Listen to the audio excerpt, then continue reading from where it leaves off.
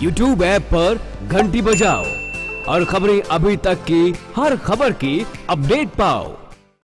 चलिए अब बात करते हैं एक ऐसी बेटी की जिसने हिमाचल का नाम पूरे देश में रोशन किया है।